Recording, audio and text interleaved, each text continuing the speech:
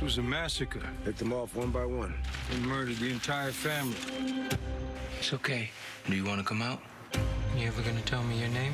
You? That's a fine name for a brave boy.